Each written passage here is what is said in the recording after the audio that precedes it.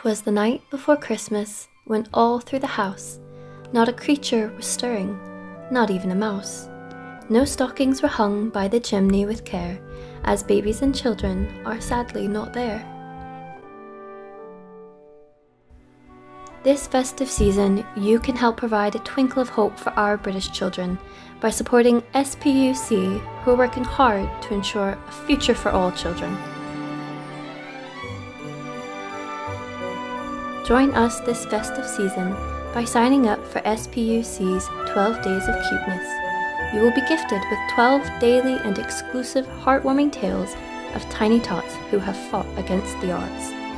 Help us spread the hope and joy we share at Christmas all year round. Happy Christmas.